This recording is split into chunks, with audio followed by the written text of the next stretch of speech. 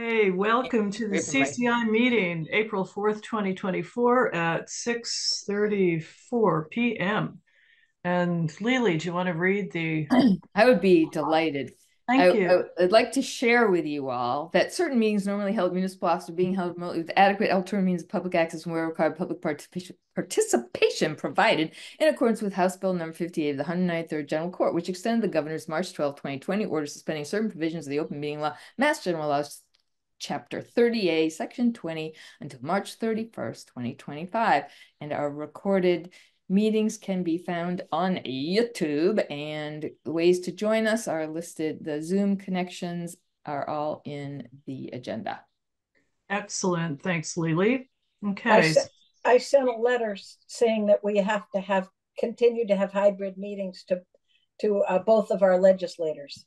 Uh, yes, thank you. All right. Yeah. Okay, so meeting guidelines, please speak one at a time, and I'm going to call you out if you don't. Uh, follow Deerfield Code of Conduct, be respectful, considerate, courteous, concise, non repetitive. And I'm going to take roll call. Jim Cambius. Here. Uh, Julie, not yet. Lily, Dwight. Present. Tim Hilchey. Here. Andrea Leapson. Here. Denise Mason, I'm here. Trevor, not here. Annie Curtis, never here. Carolyn, Carolyn is here. MA here. And Pete Locke cannot attend. Excuse me? Oh, I didn't hear you. And Christopher Dunn is here. So cool. All right. Hey, you know what? Before we start, I just want to remind. I just want to remind. Did you get Tim? Yeah. Yes. Yeah, I did. I oh, did. Okay. Okay. All right. Before we start, I just want to remind people at every planning board meeting, we do, because most of us are on different committees. So we usually do a report, you know, very brief report at our planning board meeting about what's going on. And obviously we do this at CCI. So I'm sort of hoping that whatever meetings you have, not do a long drawn out report, but please report on the highlights from CCI that we keep reporting and whoever's watching knows what's going on in town. Okay. And I'm going to be monitoring all your YouTube videos to check to make sure you're doing that. Okay. All right. Okay. doke. All right. So the next order of business is approve the minutes from February 22nd. So everyone had a chance to look at them. Okay. I second. All right. Thank you. Any revisions, any corrections, additions? I was absent that that time, so I'm not going to vote. Okay. All right. So, all right. Uh, so if I no corrections or additions, how about uh, Lily? Let's approve the minutes. Hi. Carolyn. Tim. Aye. Ma. Yes. Jim. Aye. Andrea. Recusing. Oh, yep, recuse and Christopher. All right, and Denise, I. Okay, so minutes are approved. All right, and if anybody does come on, we do have public comment. I got major cutting out. Um, can you mute if there's noise going on in the background? Okay. All right, we're gonna go. we're gonna go. That, um, okay, we're gonna go into committee updates, and I'm gonna start with Jim. Okay, well, we had a library meeting just yesterday, uh, the last meeting that the library board is going to hold in the current building because they're moving. Uh, that's the big news. April 15th is moving day. Um, they've got Sidderly movers lined up. They're gonna they're gonna load everything on a truck and drive it next door and unload it because apparently the movers don't want to have to drag everything across the lawn. whatever. They're professionals. Um, and um, so yeah, the um, they have bids in. Um, let me find the director's report. The the bid is twelve point one no twelve point three yeah to stay on, on in the budget um, with the contract bid they uh, had to um, make a few changes to the to the project, so um, they're leaving a couple of things off at least for now. Um, like uh, a wood panel ceiling in one area and the um, canopy in front. Um, and I believe the uh, they're eliminating the position of a site manager distinct from the project manager. So the project manager will also act as site manager. Um, and we're probably gonna have to get our own furnishings. But um, today is the last day uh, for the library. Um, it'll be closed after this. So if you have any books out, keep them. Um, they'll be packing up and prepping to move. Moving is the 15th. Uh, at some point, we're going to have a groundbreaking ceremony, which will obviously be just a complete, you know, symbolic gesture. There won't be, it'll be well before the actual construction equipment shows up. Um, uh, I believe the goal is to have one of the larger um, individual donors who is uh, of quite advanced age be the person to turn the first shovelful. Um, and uh, yeah, that's, I mean, that should be enough, right? We're starting a new building. That's the news. Yeah. Great. Really? About how's the fundraising going? Oh, I'm glad you asked that. So we are now at 1.1 million dollars.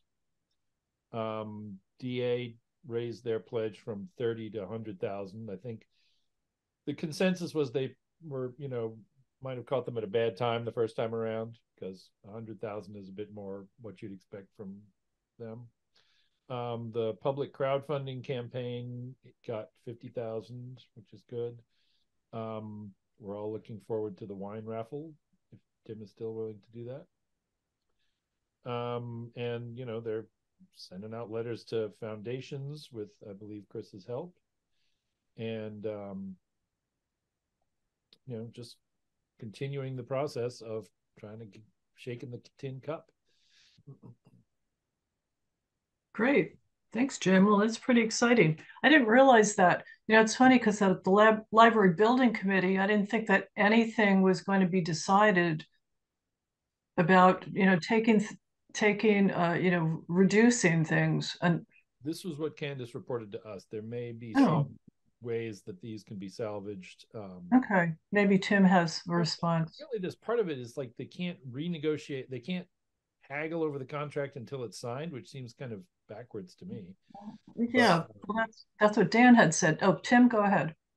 So what happened was we approved the base bid only. There were alternates to it which was like the wood ceiling, oh, okay. um, canopy, and I think there was a third one. The adjustments we made before we awarded the contract was a, a reduction in the architect's fee and a reduction in the OPM's fee. Um, of course, those are the first things that the OPM is hope, hoping to put back in. Whereas, you know, I'd be fine if it was an actual reduction. Um, but that's just me. because uh, I think I think architects are going to face a thing like real estate agents. This thing where you get eight or ten percent of the total cost of the project is probably going to get revisited at some point because it's it's kind of like the same thing, right? But don't tell the architect I said that. um, so maybe we'll get some of those things back in. Yeah. Okay. Yeah, All right. Canopy Thanks. is kind of important. Yeah. Yeah, the canopy would be nice. Yeah. Okay, great. Well, thanks, Jim. Okay, let's see. Is not here. Um, Lily. Uh, MA's got her hand up. Oh, sorry, I, I, I'm gonna have to leave. This my my reception is just. Yeah. No, so I'm going to say goodbye, and uh, I apologize. It's well, just MA, if, four rooms in the house, and none of it works. So bye bye.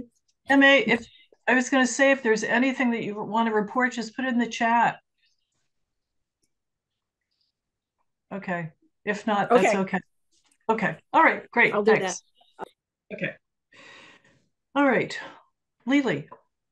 Okay. So I'm going to be reporting on the CPC and senior housing. And all of this is in the uh, reports that I put in my committee reports every single time, unlike anybody else. Anyway, Um, let's start with the CPC. So we are not moving any applications forward to town meeting. We did hold a public hearing on a uh, historic preservation application for the tack painting. And the applicant requested a vote rather than tabling it to fall town meeting and, and it was denied for lack of a public accessible site upon completion. The um, 1888 building application has been tabled until fall town meeting. And we have scheduled um, our next meeting for August 14th at 6.15 to begin the review of that process. Um, and I know that there will be a lot of public uh, meetings or hearings. I'm not sure what we call them anymore. I know they're different um, on the 1888 building. So um, maybe the CPC will be able to partner with the select board um, as, as, part of that process rather than have multiple public hearings on it. Um, we, I want to tell everybody here, and please bring it to your committees, is the CPC, the deadline has been changed to November 1st.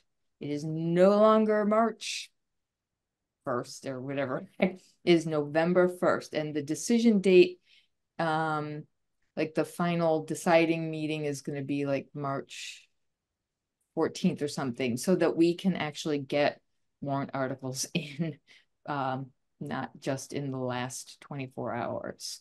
Um, the CPC is going to be um, doing a an informational hearing as required by law and it's going to be on September 11th at 6.30 pending availability. So it'll be a hybrid uh, town hall uh, thing. And the purpose of that is to inform the community about what the CPC is and then to hear from the community what their priorities are for the allocation of CPC funds.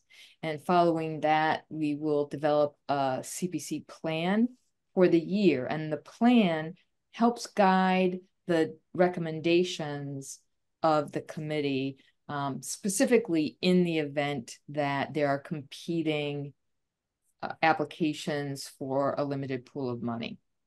So just that, so that is the way it's um, supposed to go. And that is the way under Kathy's leadership, we're going to be making it go. So you'll be hearing a little more from the CPC. Okay, um, senior housing, we had, um, so our focus is strictly on the St. James uh, property right now. Um, we are, oh, that's the old one. No, no, hang on. So we held an open house and it, we had really impressive turnout with a, a lot of strong support for senior housing.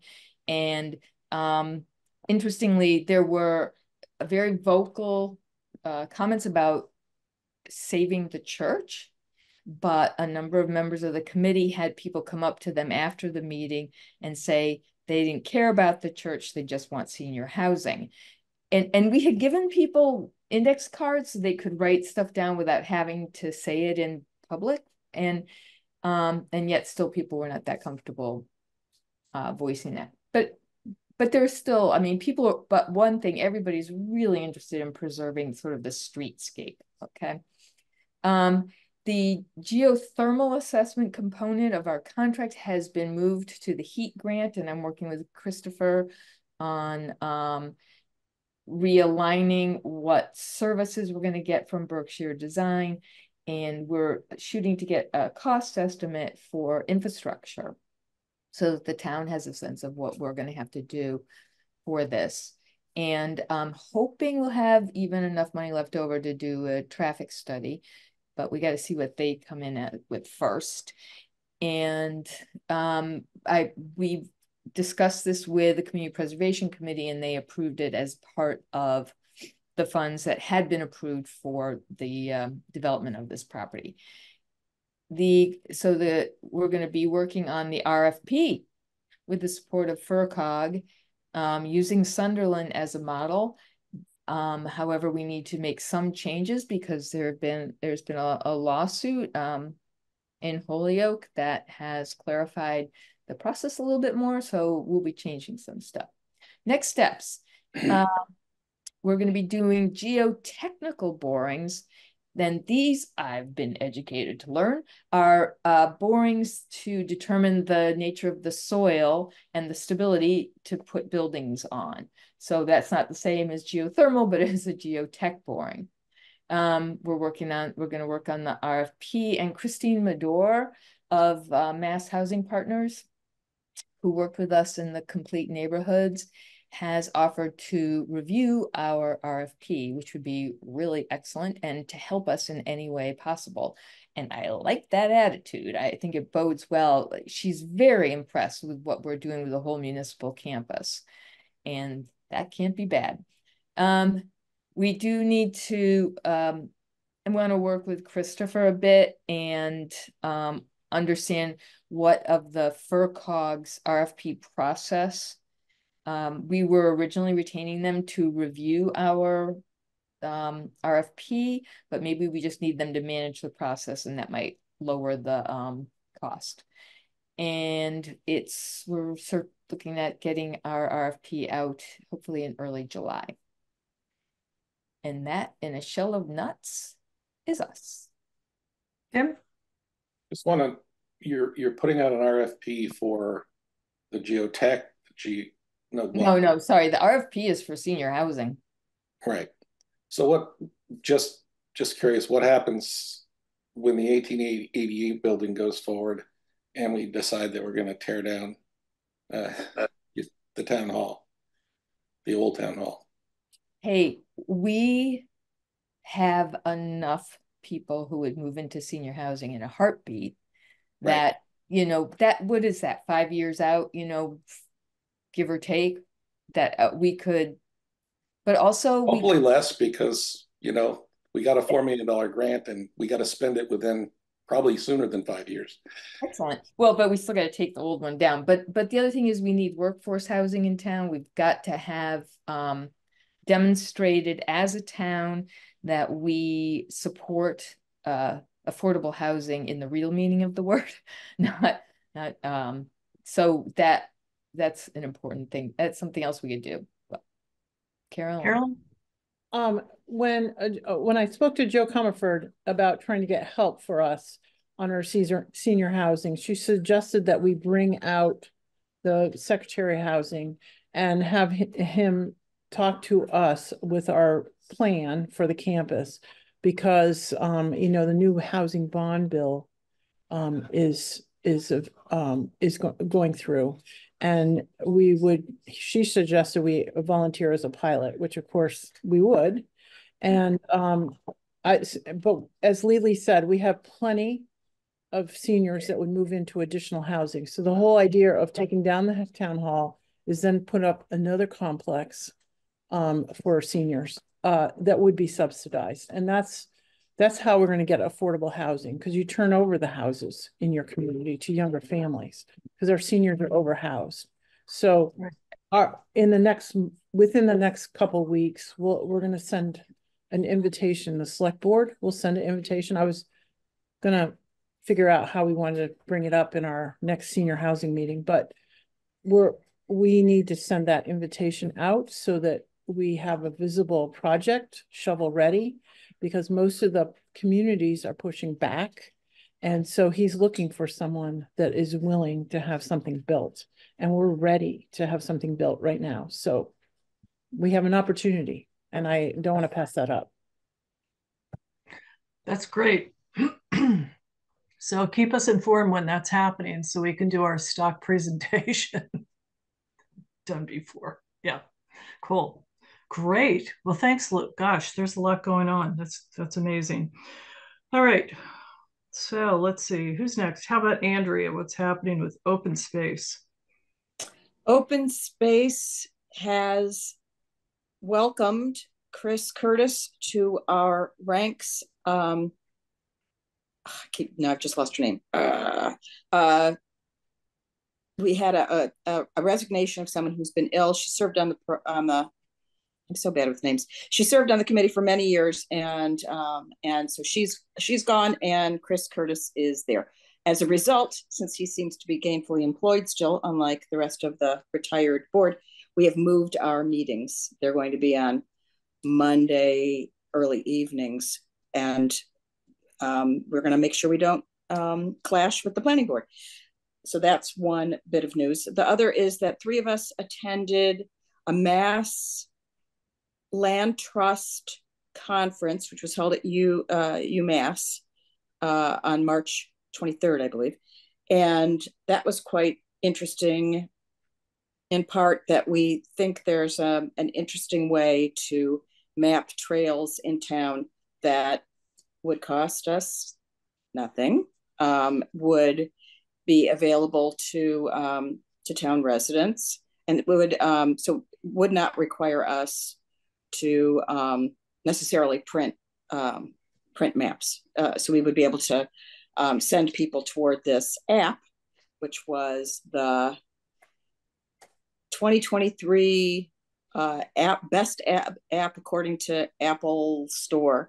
Um, so anyway, that so that was interesting. All, and we, and is that yeah, all trails, Andrea? It is all trails. Um, they have a system whereby um, you can apply to be a like an administrator of a trail system, and then you suggest trails, and then they have a system whereby they approve or don't approve them. And the nice thing about all trails, I am told um, by people who use it uh, often, is that it's got people uh, interact with it. So they would be able to say, uh, it's very muddy in this section. You know, make sure you wear your boots when you when you come here. So anyway, it, the, so we looked, we talked with the, uh, the, gentleman who's from All Trails. He showed us how it worked, and um, Julie Caswell, our chair, who has used All Trails all over the world, was really excited about it because she knows the capability of this, and I believe it would cost nothing or maybe $40 a year. I mean, so very, a very low, a very low price. Um, she did meet with the Conservation Commission. Uh, again, I was, um, I was out of town to talk about the permanent protection of certain pieces of town-owned land. I haven't, our, our meeting is next week, so I don't know the result of that meeting uh, that she had. But we are continuing to try to move forward on permanently protecting these um, pieces of land. And the last little bit is that uh, we've talked a little about um, carbon sequestration and the amount of land that we have is just too small. The, the forests that we have in town uh, would need to be partnered with other forests and other towns uh, nearby to actually make any um, real impact. Lily, you got a question for me? I do. Um, I think I sent this to you, or maybe I sent it to MA, and MA's not here. Oh, sort of here. Um, that there's this neighborhood uh, carbon sequestration article. Is did you? Yeah, but again, it's just it's it's not enough land. It's got to be thousands of acres, and we have hundreds. So that's part of that. That's part of the issue, and it may even have to be tens of thousands of acres. And it's my understanding that the whole getting paid for sequestration has really um, proven to be of reduced impact for towns, or there's very little money uh, to come from it. So, is that is that good for everybody?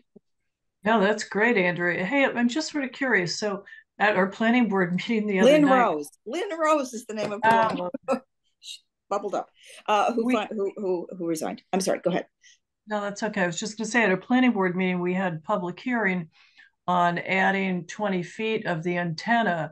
And what was interesting is that the fire chief came, you know, in in um, saying, yeah, you know, they're all for it because most of them have phones and have AT and T, and it doesn't work really well. So it's really good news that we'll get that because that's my concern. Is like all trails, that's great, but what happens? You're up on the trail and you don't have service. So it sounds like this would be really helpful now yeah. that we're raising the antenna. So yeah, I agree. So uh, so in fact, um, using all trails, we could see that there are trails that exist, but they are not. Um, um, what's the right word? Uh, they're not official trails. They're not official trails, and this would put people on official trails so that you'd be able to know, do go here. Please don't go over there, even though there's a trail that's on someone's private property. So we would be able to designate trails um, very specifically. And we would have this someone apparently uh, it, who has Massachusetts as their territory would look at what we are suggesting and approve or or not approve them. So there's um, it's not just us going out willy nilly doing things. There has to be um, some oversight by all trails. Okay, well that's that's pretty exciting. Thanks. Yeah, it'll be interesting. All right, um, Carolyn. Um, well, uh, the C CIPC um, had its public hearing. We're going to do um, uh, less than what we thought even. Uh, so it's a little over a hundred thousand. We're going to move the school flooring till next year. Um, and, but we are going to support the air conditioning, the town server and a couple other things. Um, the SCEMS and the, um, ma management asset plans are going to be paid for by both the um, South, you know, the wastewater um, enterprise fund and the SCEMS enterprise fund. So we're only bringing forward a little over a hundred thousand, which is um, pretty lean. But as you know, we don't have a lot of money this year. So, um, but we are working. We're gonna. We agreed all agreed to work um, beyond the town meeting this year and um, uh, come up with a 15 year plan because our five year plan is really has been not adequate. And with the 15 year plan, we can put the roads that we have left to repair on them, which are really in 26 to 29 and beyond. Um, just because funding is an issue for the roads that we have left to repair. Um, and we're not sure uh, when we'll be getting to River Road. Hopefully it's all stable but we want to do a hydrology study of the ridge and what uh, where water is coming from, which is really different than three or four years ago. And that sort of segues into what MVP has been doing. Um, MVP committee uh, did hung in there. Tim. You owe me, Carolyn, big time for that one. I know. I, I owe everybody. It was horrendous, but we did um, six hours of training in March, three Tuesdays in a row, and we had good group participation. So we, um, an MA, thank you. MA was another one that hung in there. We participated. We made an impression on Andrew. He's writing off on our plan. He said that it was good, good thoughts. Oh, gosh. Anyway, so we're moving on 2.0. And that means we can get some, uh, hopefully some more money for other projects. Some Carolyn, project oh, Carolyn, oh, All right, before you continue, can you guys open up your meeting? Select oh, board meeting? you know what? I forgot. I don't That's think okay. We're not posted tonight. So we're just reporting. Actually, you're always posted tonight. It's always posted. CCI. Oh, okay. oh, uh, oh, I didn't. Yes, just, I guess yeah, I just, didn't see it. All right, no, I will okay. tonight at 6:02 p.m. Tim Tim Tim is a little uh 702 Carolyn. Is it 702? Yep. Oh, yeah, 702. Yeah, I'm, I sorry, I looked at the wrong clock. That's okay. You're making me feel better every minute here. Okay, Tim. Got a lot of time zones in that place. I know, I know. Um, so anyway, uh, we're we're working on the MVP, moving forward on that 2.0, and we're hoping to get certified so we'll be eligible for more money. Next thing to just side little side on that is part of MVP is we really think the village area around the campus, all that area is our most vulnerable population and most susceptible so flooding. So um, Christopher very graciously walked around with Nick Miller of Field Geology um, this past uh, Thursday. Um, spent a few hours and poor thing kept him late. But and then I spent a couple hours extra too. So he was here until after six o'clock. Um, he was, I think he was only anticipating a couple hours, but uh, there's complex issues. And he has agreed that a hydrology study is probably the best thing to do but he's going to do it in phases. There's certainly different issues in the north end of town and Cumtic Ridge. Um, and then, of course, uh, we need a hydrology model for the Bloody Brook on how we're going to work that and what are the chokehold culverts that we want to replace through them through the um, MVP program and you know some of the other ones that are going to be available shortly. So um, poor Christopher has a lot of work going forward. He loves it, Carolyn. Uh, for grants, but um, I'm really excited because we actually really do need to address um, how we're going to handle flooding. Uh, it's predicted the new predictions for NOAA came out today. I was on a web webinar on that and um, for for the hurricane season and you know we just we have so much water. We've got to and that was the thing that Nick he says this is more complicated than he thought, you know, from my description and the description that we wrote for the small grant that we got through the conservation district to hire them. And um so he's he's going to pull in uh, support because they're a pretty small shop, and he feels like this is uh, going to be a couple years of phased projects, and um, hopefully we'll get it funded through the conservation district MVP program, um, so that people can see the value of this, and um, we'll have some real direction uh, as to what to do and respond uh, for these, you know, just it's seemingly regular rain events that we're having. I mean, it's, right. it is climate change. Oh, uh, and I'm just reporting. Normally, I don't report for the mosquito district, but um, we're in for a little grant to do some extra surveillance um, that I'm hoping we're going to get for the Asian tiger mosquito that carries that has potential to carry a lot more disease load, and it is here. So um, and that hopefully will then trigger some more grants for us to work on Bloody Brook because when we have drought like we did in 22, it was very stagnant. So the whole point is to have some kind of plan when we have drought, periods of drought, um, so we don't have uh, a mosquito, you know, breeding ground. We have dragonfly habitat that is beautiful and that, you know, uh, will eat mosquitoes, but also we'll have some kind of treatment program that will handle uh, the droughts and then we'll be able to handle the flooding as well. Okay. Well, that's a lot. Well, thanks, Carol. Anybody have any questions? If not, I'm going to move on to Christopher. I, I have a quick one. Uh, what about anything up with the 350th, Carolyn? Oh, yes, yes. Oh, I'm sorry. I completely forgot. Yes, the 350th, the last event for the 350th is going to be June 8th. It's going to be a home day. Um, I'm hoping actually that we'll have an MVP table that day to do some more outreach and education. This will be also an opportunity for senior housing. Um, it's going to be uh, like one to three kids events, um, free food, balloons, face painting, that kind of thing. And it will be the burying of the time capsule, the bench that goes over the time capsule, and it's sort of off to the side to the of the police station. You know, when you go in the entrance, it's in, in that general area.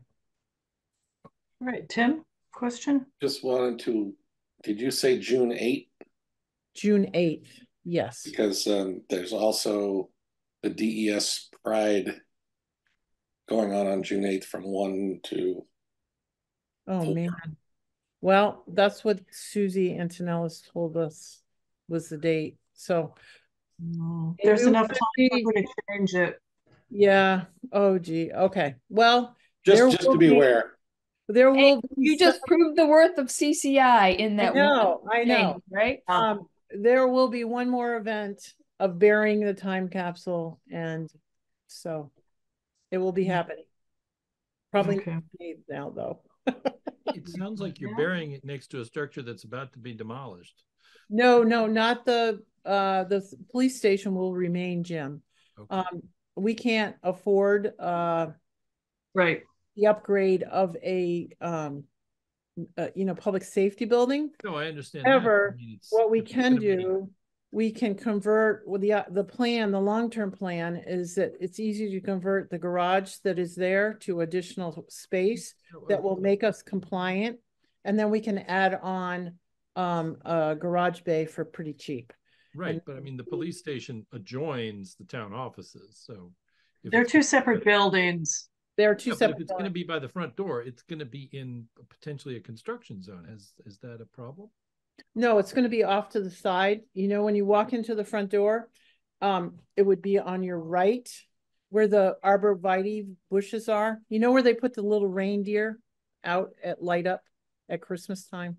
So if you're looking I'll take your word for it. If you're looking at the police station, Jim, there's there's a marble um, sign and the arborvitae are over between the police station and the um, the parking lot in the 1888 building. All right, so it'll all be on that side. Okay. Yeah. I, I had I thought you meant it was going to be by the entrance. Uh, it's it's really a not a a big area. We're talking the bench is four by eight, I believe. Okay. The base is just a little bit bigger than that, and the whole space is like not very big. Thank you for clarifying that. Yeah. Okay. So, All right. No, no panic. Okay. Now I'm going to move on to Christopher. Thanks, Denise. Uh, so I'm going to run through a bunch of things really quickly, and then you know I'm sure there will be questions. So uh, first, town common project. Um, so we've had some conversations with MassDOT um, because they came to us and said, "Hey, we'd actually like to remove parking on Sugarloaf and Park Street since those are technically state highway." Um, you know, not really a huge issue given that the Leary lot is planned, so there will be plenty of parking still. Um, but we were just trying to coordinate with them as to where the crosswalks would be located from the common. Um, so not no total clarity on that just yet, but we're working with uh, Jeff Squire at Berkshire Design to to get that out to bid. Uh, you know, finally after years and years and years. So fingers crossed we'll be able to do that this spring. Um, terms of municipal campus stuff, uh, the senior center feasibility study. Um, so we got seven proposals back for that. Um, just as a reminder, this was an RFQ we put out with FRCOG to look at the 1821 church, the Oxford building in Sunderland, and then a third site, TBD, as a permanent location for the senior center. Um, we had a little informal meeting with a couple folks from Whately, Sunderland, um, and of course uh, Jen from the senior center today. And so we've got kind of an idea of you know what firms we want to move forward with, but we're still trying to figure out exactly what the next step is. So more to come on that. Uh, 1888, Tim, I think you already spoke to that, right? I will. Uh, or you will, that's right. um, just going down my list. Uh, Elm Street. Um, so I reached out to Tighe and Bond about uh, complete streets because that is one of our priority projects on our lists. Is you know redoing sidewalks and etc. on Elm between Main and the railroad. Um, they got back to me today actually with some draft cross sections, so I'm going to be talking with the select board about that next week, um, and we'll figure out what the next step is. There's two opportunities to apply for construction funding one as soon as May, which I think might be a little bit aggressive, and then another opportunity in the fall. So we'll talk about that with the select board. Hmm. Uh, let's see. Bloody Brook, Carolyn already covered that. Geothermal, uh, so the heat grant. Um, so we had a kickoff meeting with all the different communities that got heat grants. Denise, I believe, tuned in for that. So did Tim. That was another um, fun one, Christopher. Yeah, yeah, yeah. Well, lots of lots of information, certainly. Um, so yeah, so um, we've got a firm identified who could do the feasibility study. Um, we're actually trying to figure out, and it's a question that a few communities have, um, what the procurement rules are on this. It's a little bit uncharted territory because geothermal and network geothermal are so new um, in some sense. So just trying to figure that out. But one way or another, we have we're going to have a firm who's going to be able to do the feasibility study. Um, the feasibility study will look at you know network geothermal at the campus um, and potentially connecting to BBC and other major employers and institutions uh, in South Deerfield. So it could be really good, and we just got to find out which firm it's going to be if it's not this one. So uh, let's see. Then beyond that, Mill Village. Uh, so the intersection with Route Five and North Main. Um, so we had a meeting with MassDOT. I think that was back in February, actually. So I may have already updated this group. Um, maybe not. Maybe it was March. You know what? It was March. Yeah. Um, so yeah, we had a meeting with MassDOT. Um, they are very open to addressing the problems at that intersection. Um, they they had a couple different ideas that they put out there. They have a whole process they have to go through. Um, so on our end, the select board just submitted a letter basically saying, "Hey, we're really excited you guys want to do something about this dangerous intersection." Um, and uh, you know, by the way, we're here. We'll be supportive of what you guys recommend. And here are some letters from our residents as well. So the residents, I think, um, Wayne Manley and Patricia Taylor. Taylor. Taylor, thank you. I, I believe they're they're going to be out at the transfer station collecting signatures on a little petition to say, hey, do something about this intersection. So that'll be good info for MassDOT to get when they're making their decision. Yeah, they did, they did that last Saturday. Oh, great. Okay, perfect. Uh, and I think the last big thing, um, shared streets and sidewalks. So, um, Denise, was it a year ago or two years ago? When did we get this grant? Yeah, two years ago. It shared streets and spaces because we didn't have sidewalks included in that yet. It's been a long well, yeah, time. So, so, so I'll get to that. So the shared streets and spaces uh, is for a couple crosswalks to be restriped along North Main um, and also have uh, beacons added, um, you know, flashing beacons basically on either side of the street so that when people are crossing, it's really obvious. Um, so that's, uh, we've got an, an, invitation for bids ready for that. Uh, that's going to go out hopefully next week. And then simultaneously, um, Kevin's long awaited North Main sidewalk project is also ready to go out to bid. Um, so we are coordinating with FRCOG on getting that out as well. So the hope is we'll be able to do one mandatory site visit for any contractors interested in those projects and they can coordinate and we may even get the same contractor on both projects. We'll see. Tim. So just a question about the North Main Street sidewalks. I haven't seen anything saying what they're going to do. So if this is just um, a partial North Main Street, or is it actually getting to the center of town? Because one I would support, the other one I wouldn't support unless I see some actual sophisticated drawings returning green space to, to the center of town. Um, right now, we've got huge, wide North Main Street where you know people park up in front of their houses, and it's just a big asphalt jungle there. So, yeah, do you yeah. have any actual concrete information? Uh, I can certainly forward you the draft IFB, but let me also just pull up really quick because I have an image that kind of shows uh, where where both projects would take place. So give me one second. Sure. Thank you. I, I agree with Tim. We haven't seen anything proposed at this point yet. We've been certainly waiting for it to happen but um, we haven't seen the actual plans. Yeah, give me one moment. I'm just going to show up here.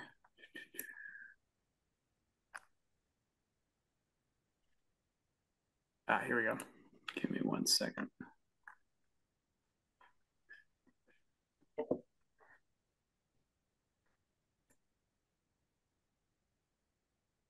Okay. Sorry for the, del the delay there. Uh, can you see that okay? Yep. Well, I, might, I might need to zoom out. right. Yeah. So um, the map on the left-hand side here shows kind of the project limits for the sidewalk effort. Um, so the pink is just the west side of the street and the orange is the proposed east side of the street. Um, the way the bid was set up by Kevin is to just do as many linear feet as they could um, in those areas. And I believe for the most part that this portion of North Main, um, you know, it already has that green tree lawn or buffer or whatever you want to call it. Right. Um, so that's that's where his focus was. Um, and then the kind of zoomed in part here is where the shared streets project would take place. So that's really right in front of Frontier. Um, you see the multiple crosswalks that would be restriped. Um, and then we also, um, given that the, the park on North Main hasn't worked out so far, um, I think we are going to also be able to add uh, this crosswalk and beacons down at Pleasant Street. Um, so right in front of the Galinsky property. Uh, so those are the two projects and their limits. I don't know if that lines up with your expectations, Tim, or well, it, or it clarifies. I mean, it it. I need to refresh my memory about where this uh, where Galinsky is in relation to getting further down, where there's this huge, you know, where the North Main is really wide. It may may be fine, and my understanding is um, Kevin was talking about um, using asphalt. Is that right? Yeah, for the well for the existing asphalt sidewalks. Yeah. In this section, uh, yes, I believe that is the plan. And the the purple the purple um, is um, where does it stop? Again, right across from Galinsky. Uh, so yeah, so it's from Pleasant Street um, north to basically you can see it on the smaller map here. Right. It goes right up to where the driveway for the school is. Yeah. Okay, and is that a different material or? Um, I would have to check uh, the IFB and and see what uh, it included in there. Okay. Yeah, well, this seems okay. It's the downtown part that I was concerned about. So this reflects. Yeah, the downtown yeah. Yeah, the downtown obviously right on, you know, right in front of the campus there is obviously there's just way too much asphalt and it would be fantastic to do something that makes it just a more inviting pedestrian uh, experience for sure. Um, but I think this was, I, I, believe this is where Kevin landed after discussions with the select board last year. Yep. I think it does reflect what our, we talked about. So that's that's a little that's encouraging. Okay. Well, and there that we can um, maybe do a more in-depth discussion at the select board meeting next week. Um, so I was going to be at that one anyway. So yeah, let's plan on that. Thank you, Christopher. Absolutely. Uh, and then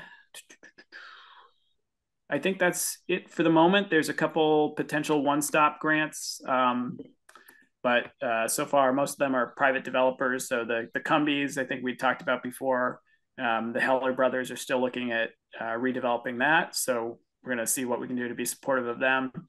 And then uh, Phil Nash up at the rail yard has uh, he has big ideas up there as well. So we'll see how we can be supportive of him uh, in addition to the Hellers.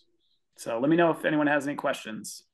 Yeah, I do, Christopher. When you were talking about um, your meeting with DOT and parking on Sugarloaf, you know, I think parking on Sugarloaf, especially when what is it? What which church is that? Oh God, what's the Catholic church that they park on the street? Holy, Holy, fa- Holy Family. Holy Family.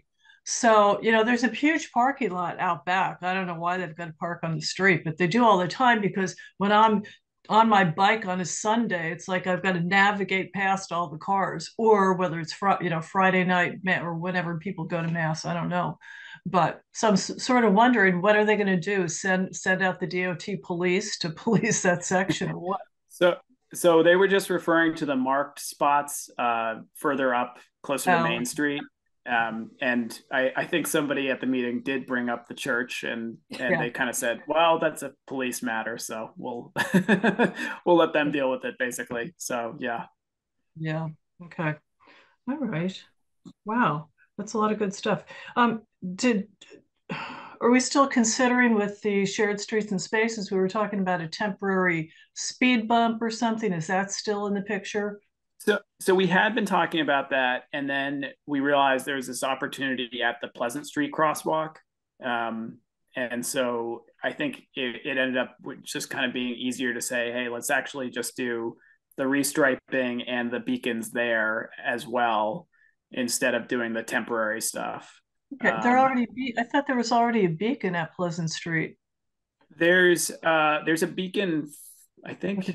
I don't know if it's even a beacon. There's a ra- There's a radar sign, is what there is. There's a speed feedback radar sign, okay. so it'll tell you how fast you're going. But nothing that the kids can press and that'll flash to let drivers know, hey, I'm trying to cross the street. So that's what we're mm-hmm. trying to do there. Great. Wow, thanks. That's a lot of good, a lot of good stuff happening.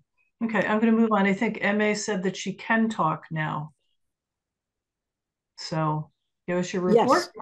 Yes, yes I uh, moved down into my cellar and uh, the reception seems to be better and it's sticking with me right now. So uh, the uh, Energy Committee um, is continuing. We, we have a, the Green Communities Grant is, they just came out with the, with the date for applications. It's, it's May 10th.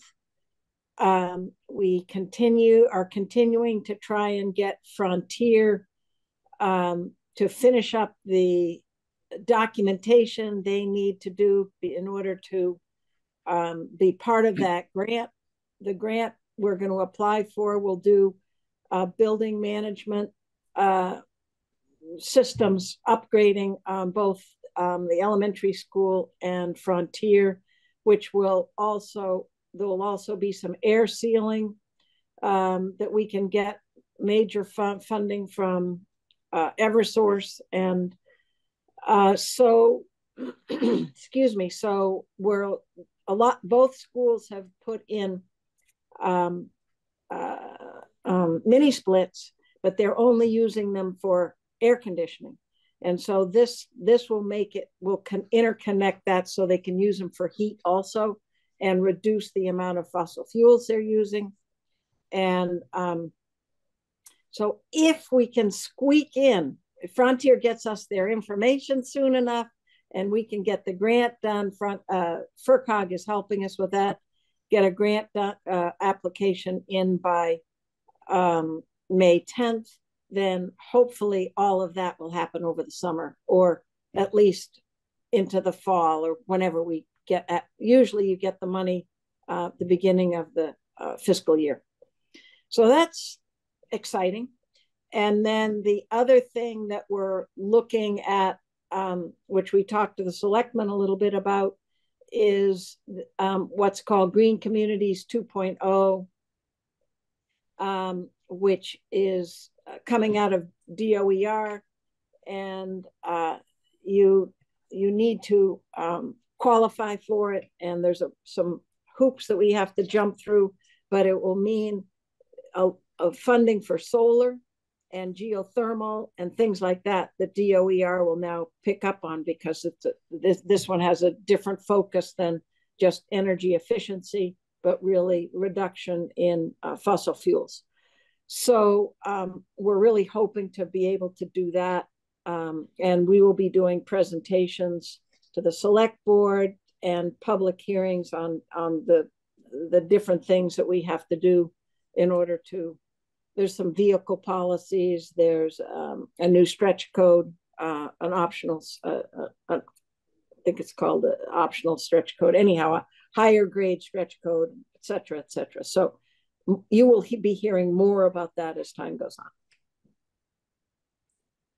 Great, thanks. Tim? Do you have a timeline on when we might hear about this? Is it months away? Well, when we talked to you all, the um, and Chris Mason was there. We were talking about um, maybe trying to get uh, the fall, you know, at the fall town meeting. Um, that's what we would love because then we'll be, as Carolyn has pointed out, if you're in the early stages of these grants, you get more money. And so we'd like to be, um, you know, one of the early applicants uh, for for this program. And um, so I talked to uh, Chris Mason just the other day, and I, I told him that as soon as town meeting was over and the select board had the ability to think about something other than all the things that are lined up for town meeting, uh, we would do a, a, presentation for the select board on the um, optimi- optim- optimized stretch code uh, which I think is going to be the more the most difficult part. We also have to. We haven't heard that we've gotten the grant for the uh, roadmap, which it, which we have applied for. So those are things that are coming in. Uh, it would be great if we could do it by the fall town meeting. Uh, if we can't, we'll try for spring. So MA, um, going back, and I can't, I don't think you talked about that. You know, we've been talking about putting solar on the library roof. Do you have any leads as to any kind of grants for solar to put on the roof? Not, not yet. Um, all of all, everybody's talking about it. Uh, I went and heard um, uh, Chairman Roy, who's part, who's the chair, who's the House chair for the um, telecommunication, TC, TC, te, te, the the House Committee on Communication and and telecom, uh, telecom, yeah, utilities, and energy. One. Yeah, that one.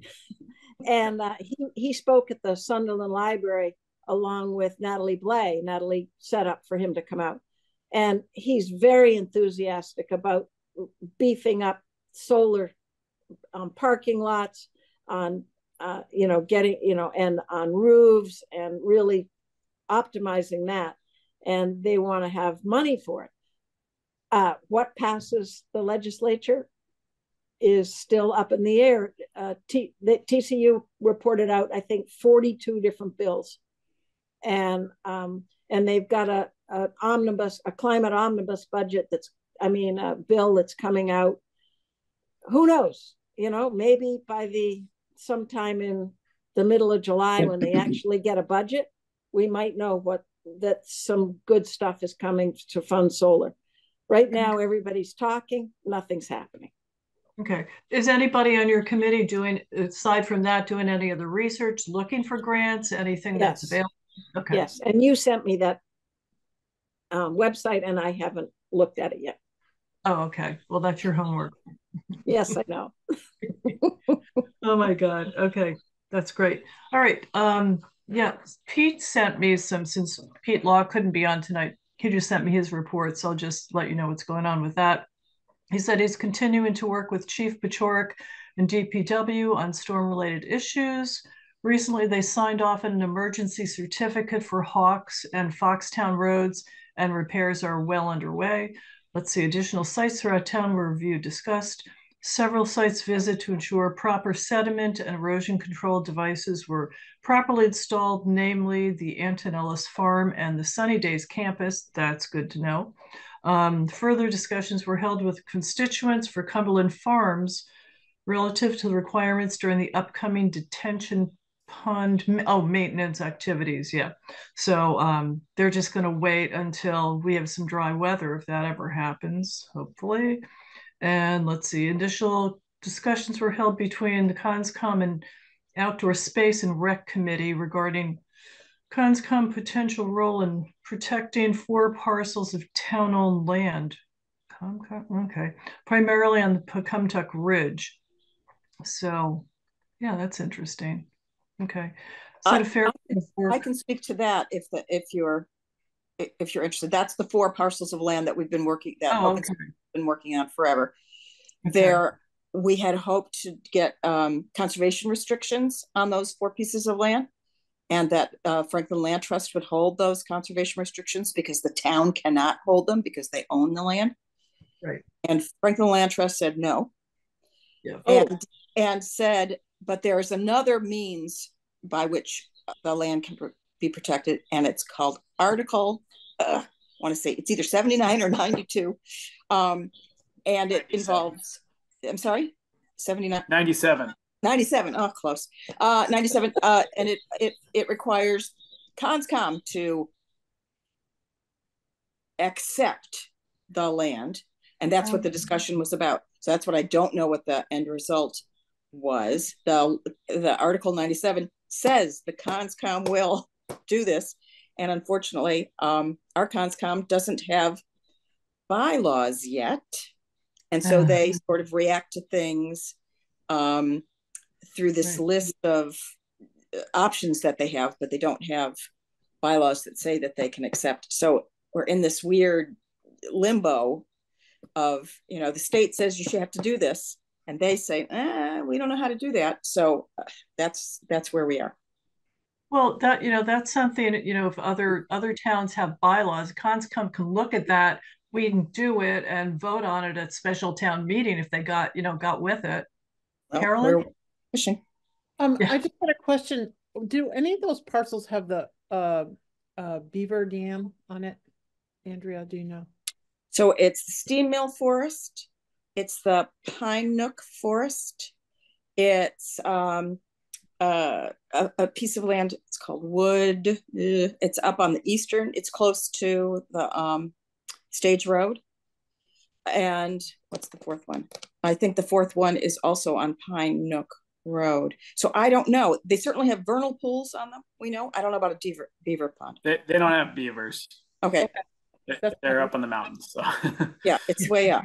Yeah, they're all yeah. way up. No, that's yeah. good. This is this is um directly sort of by John uh Staberski's if you go from John Staberski's property and look up. Okay.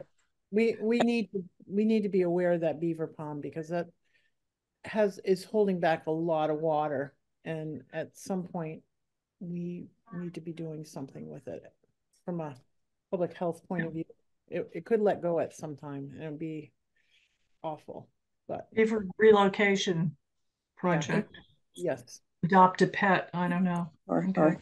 so so just two things two things really quick on the Article 97. So, one, I believe uh, Julie had a question into our town counsel about, you know, what are some other ways yeah. we can make sure these are Article 97 worthy. Um, yes. And then the other the other thing to be aware of is that um, with the Stillwater Bridge project, um, the town may well end up having to um, do some kind of Article 97 land swap potentially, depending on where the the the reconstructed bridge falls. Um, okay. So there might be an opportunity here to, you know, kind of kill two birds with one stone. Yeah, bundle um, it all together. yeah. Okay. Yeah, something just something to be aware of. Yeah, I want. I do want to say that um, Franklin Land Trust helped us understand this Article 97. So even though they declined to hold the CRs, they are still continuing to help us. That's great, Carolyn. I uh, just to follow up from what Christopher said about the Stillwater Bridge, we um, are moving forward to start that process. And the reason why I was pushing so hard for it is because the property on the southeast side of the bridge is um, DCR property and it is in conservation. So what he's talking about is doing a flip. If it goes through the legislature, usually you have to do it, you know, more and double sometimes. So this would be a really good project to be one of those things if it's if the land is considered good enough. And um, oh, take a rock. Yeah. This I, someone should report on this because this is huge. Is you know it's our bridge, but the state um is finally working on it. It's twenty three million dollar project that I've been, you know, shepherding for like fifteen years.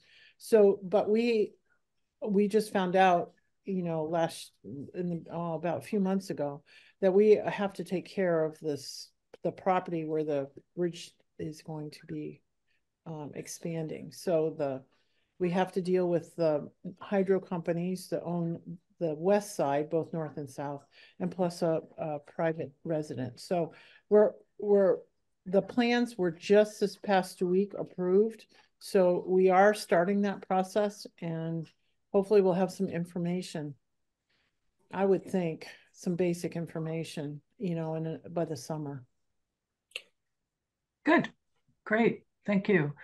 All right. Uh, last but not least, Tim. So I'm going to go quickly um, just to say it on recording. April uh, the uh, annual town meeting, April 29th at 6 p.m. Frontier, be there. Uh, 1888 walkthrough. Second walkthrough is taking place on Friday at one o'clock. Um, for any interested designers, um, some additional information will be shared with the whole everyone who's visited or does visit on Friday. Christopher Dunn has talked about the possibility for looking at whether we can get a, a grant of up to 200,000 for an elevator. Is that right, Chris? Ooh. Yeah, the uh, municipal ADA program, uh, improvement program. So that would be, you know, at some point next year looking at that. But yep, that's definitely on the radar. Okay.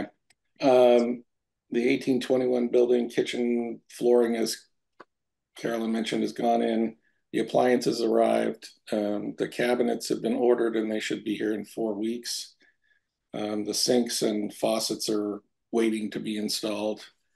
Um, we have a carpenter lined up to um, be the lead on assembling the cabinets when they arrive, and I'm going to be his dog's body.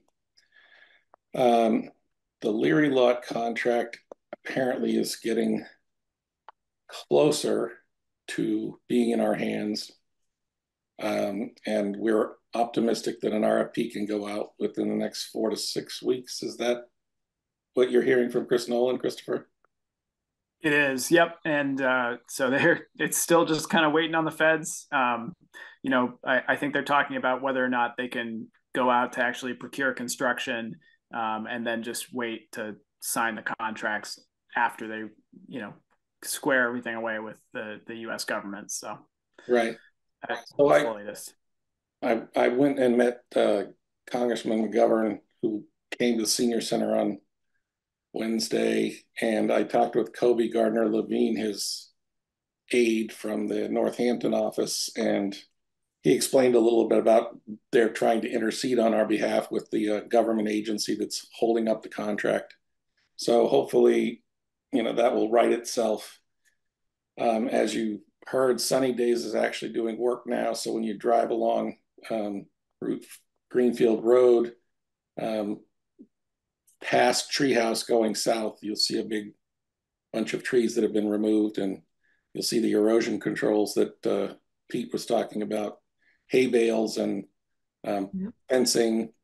And the last thing is that, uh, although we don't we usually talk about this, um, last year we tried to get a human rights advisory committee over the finish line, and we thought we had done that, but um, a couple of people backed out of the process. So I'm going to try and work with Kate Lawless, who had been one of the people who are hoping to chair the thing um, to try and finish up the process and then look for volunteers to serve on a committee. And that's it. Well, so getting back to the 1821 building, who installed the floor, Tim? Yes. Yes, Tim did. So yeah, and a big hand to Tim for doing that. It looks amazing. Oh my God, the whole place looks amazing. I know it does. And uh, it's so exciting. Once the kitchen is in there, we're hoping to arrange some senior center tours for people so that they can go yeah. and think about, oh, this would be nice to move in here. So, and perfect. A lot Great. of the work's been done, so the uh, feasibility study should have a better place to look at. Yeah. Oh, the final thing I wanted to mention is we have awarded a contract to fix the the roof of the church, the relish project, as we call it, and uh, um, it it was more expensive than we thought it would be from the two year ago estimate, but probably there's a lot of work involved, and um, I think the company that we hired has got its bonding in place, and now I I don't know if the contract is in process of being signed. Do you have any update on that, Christopher? No. Carolyn Tim, May. Tim, does that, does that, approved, oh, sorry, we approved the, uh, a contract for, um, also the bracing of the balcony. Yeah. So with right. the relish repair, two relishes, and that was why it was a little bit more than what we estimated because we had originally thought there was only one relish that was rotting out and slipping, but there's two. And then also the the alternate of the bracing for the balcony. So the wood, I mean the it wouldn't put more stress on the relishes that are repaired. And then we can start working on the sanctuary. It's so exciting, I have to say. Tim has done an amazing job. Um, that is great. Thank you. Yay, yay, yay. All right. I'm trying to think what else, if there's anything else. Just a couple things I know that Christopher, I don't know, I guess um, Business West magazine came out. And so this was, this is when I was on vacation in Mexico. And Christopher. So we had it. We had a three-way conversation about the campus, and I did plug senior housing for whatever that's worth, you know, on Business West. But thanks, Christopher. That was a, that was a nice article. But that was fun. I was on the beach talking. Yeah. Before my uh, margarita, of course. But anyway, that was fun. And let's see what else. Oh, there's also I think Tim, I think you attended that. There's a, there was a Melissa Hoffer Zoom. There's a series on climate change, climate issues. I think through the MMA, and right. so uh, the first speaker was Melissa Hoffer, who is just amazing. I mean, she just I just I can't believe how how amazing she is. She's so smart and she's such a great speaker. So it was really good. And I'm not sure who's who's the next one, but I think I just signed up for that one. So that was really good. Um, what else? Yeah, don't you have an MMA thing this weekend on Saturday? No, no, that's April 27th. That's the 27th. Yeah, yeah, that's at Hotel Northampton. That's it. MSA yeah. Rural Conference. Right. Okay. Carolyn? I just want to just follow up on that. Uh, the next, the next uh, climate, you know, chat, fireside chat, or whatever they're mm-hmm. calling it, is um uh, going to be on actually implementation. So, um, I I did talk to Melissa about uh the EWP program that we use, the Emergency Watershed Protection Program that we use here in town successfully, and so she's whoever's going to be talking about it is one of the things they're going to be um so i mean they may reference deerfield who knows? But we've had well, she did. She melissa referenced deerfield i think first when she was talking about different towns. So that was that was sort of cool but I mean, she's she yeah. is great um we're having her speak just in case anyone is interested massachusetts is hosting the um, new england and the national Association of Conservation Districts meeting the, uh, this summer in Boston. I happen to be president of the Mass Association of Conservation Districts, and Melissa will be speaking. And um, so it's August um, uh, 12th, 13th, in case anyone is interested. Excellent. On the, on the seaport. So it's pretty oh, nice. nice. Yeah. All right. So if there's, uh, we need to set another meeting our next meeting. And obviously after town meeting at this point, right? Let's see, it's April. I don't know. Do you want to wait? Town meeting is 29th. 29th, and there's town election on the 6th. So I don't know what do people think. Want to wait? Hey, anyway. Yeah, well, is Christopher, uh, when is the 604B and the um 319s due? That's like in the middle of the month, right? Want to say that the 604B is May 8th, but let me just double check my calendar. I, the only reason I'm thinking is we should we should wait until we have um some input you know, some concrete input from some of the grants that we're intending to apply for, maybe? I don't know. Just because poor Christopher will be out straight anyway.